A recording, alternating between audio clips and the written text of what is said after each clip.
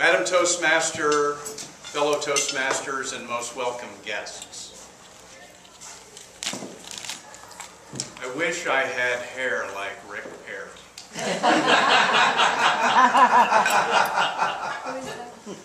I wish I had a big mansion.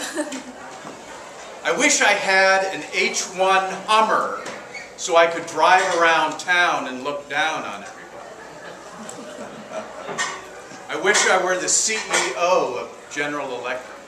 I wish I owned your business. Envy. Take a deep drink into my definition of envy. Envy is the misunderstanding of someone else's circumstance. Listen to that again. Envy is the misunderstanding of someone else's circumstance.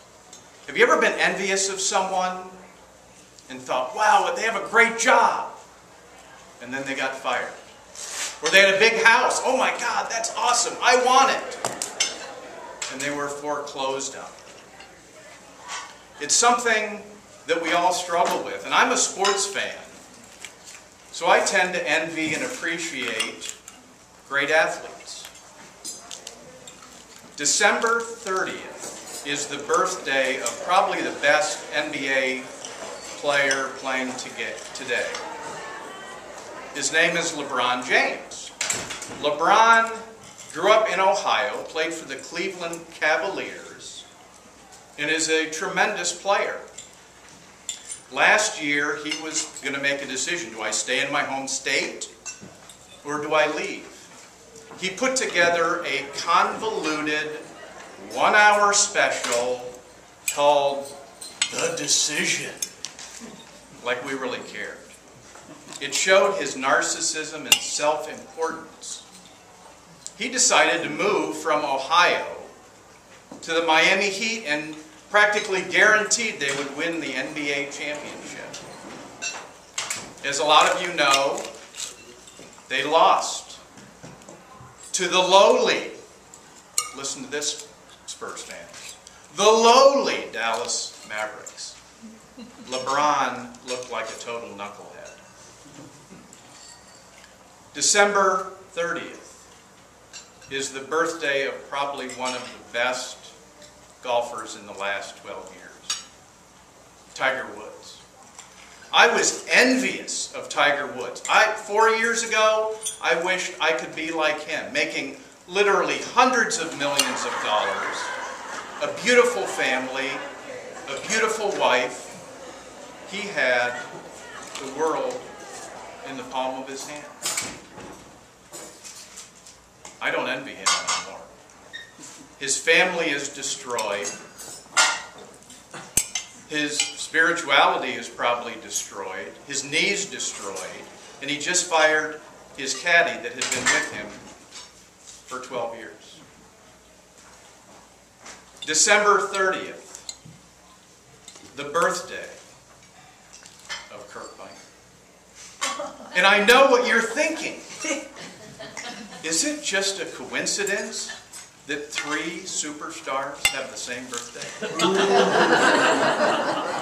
I may be a superstar in my own mind, but I think you are superstars. You have skills and talents that no one else on this planet has. You're not one in a million or billion. You're one in an infinitesimal number of people. Let's go back to that big house. What goes along with that that you'd be envious of? A big mortgage? Big electric bills? Big water bills? What about that H1 Hummer at $3.55 a gallon? Big insurance? Big gas bills? Big upkeep? What about being the CEO of GE? Having to deal with attorneys all day? No offense, gentlemen. Or CPAs? No offense. Is that something you really want? Or what about working 50, 60, 70 hours a week? Is that something that we envy? I think it is a misunderstanding of someone else's circumstance. What about the President of the United States? Wouldn't you want to be the President of the United States? More power than anyone in the entire world. Have you seen the President the first day they go in office and then when they get out of office? That is a ton of stress. And it's something that I don't think I would wish on anyone. Several years ago, I was watching an episode of The Twilight Zone. And you've seen the story before where the guy walks on the beach and he sees a magic lamp. And so he picks it up and he rubs it. And all of a sudden, a genie pops out of the lamp. The genie says, I will give you three wishes. This particular gentleman, his first wish was all the gold in the world. The second was the most beautiful wife. He thought about his third wish. And he said, I want to be the most powerful man in the world.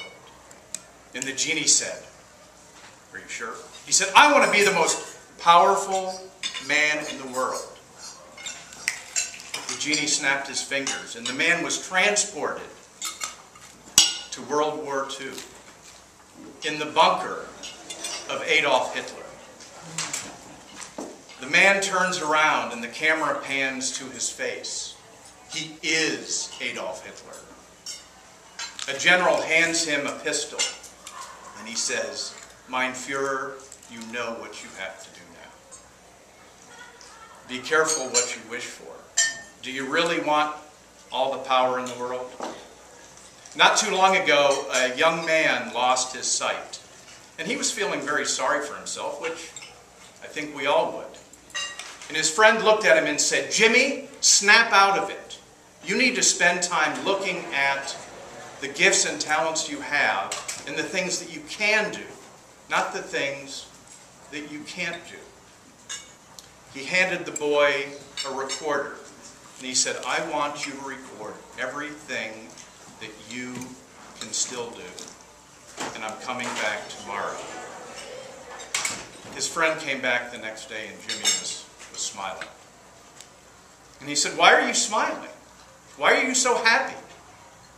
And Jimmy looked at him and said, I listened to what you said. And I started recording the things that I can do. And my list is over a thousand items long. My wish is that I look in the mirror every day.